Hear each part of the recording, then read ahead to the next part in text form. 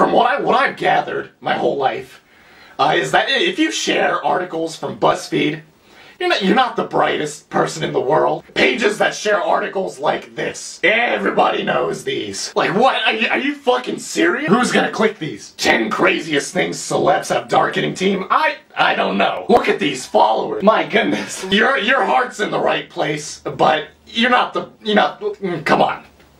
Uh,